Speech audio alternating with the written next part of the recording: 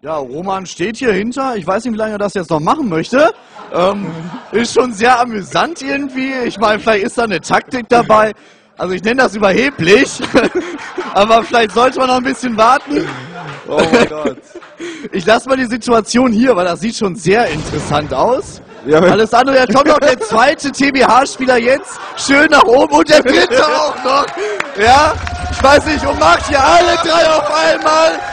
Ja, also, Alter Schwede. also die Coolness, die Coolness muss man haben. ja, also wirklich. Absoluter Respekt, die Coolness muss man haben, um so lange zu Und warten. Moon gleich hinterher Partyalarm, ja genau. Gerdi, So wo muss es kommt denn her? Roman holt sie hier aus dem Spiel.